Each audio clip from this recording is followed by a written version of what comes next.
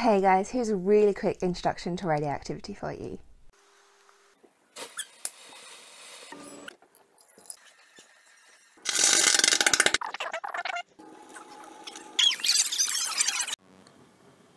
Radioactivity was first described by Marie Curie.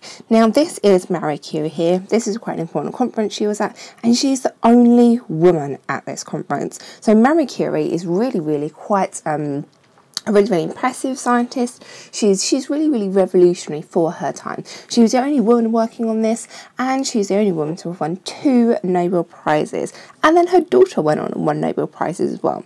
And she and um, Becquerel were working on some salts and she noticed that these salts were giving off waves of energy and she described these waves of energy as radioactivity.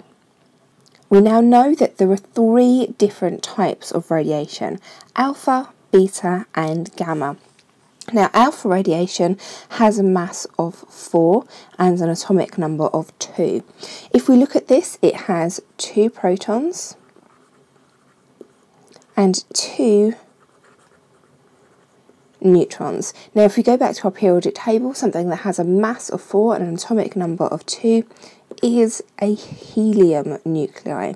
This is helium with no electrons. So that's an alpha particle. A beta particle has a mass of 0 and an atomic number of minus 1. Now this isn't going to be in our periodic table, but if we think about this, it is just an electron. And then gamma radiation is more of a wave. I do have a video explaining all of this in much more detail. And if you're interested in Marie Curie, I'll put a card up linking to SciShow's excellent video on her. Hey guys, thanks for watching. I really hope you found this video helpful. If you want to say thank you or if you want access to my online classroom, priority video requests, or to all the books I'm publishing, you can pop over to Konos or keep up to date with everything on my website.